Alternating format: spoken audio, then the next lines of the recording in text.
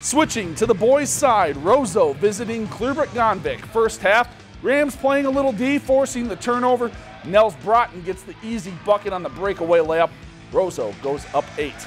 But the Bears would start to fight back. Later, still down eight, Ethan Dorman knocks down the outside jumper, lead cut to five.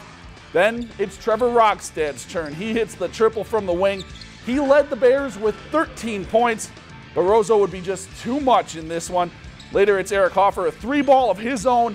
He led all scorers with 20 points. Rams go back up eight. They lead by 18 at the half.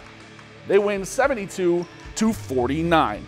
If you've enjoyed this segment of Lakeland News, please consider making a tax-deductible contribution to Lakeland Public Television.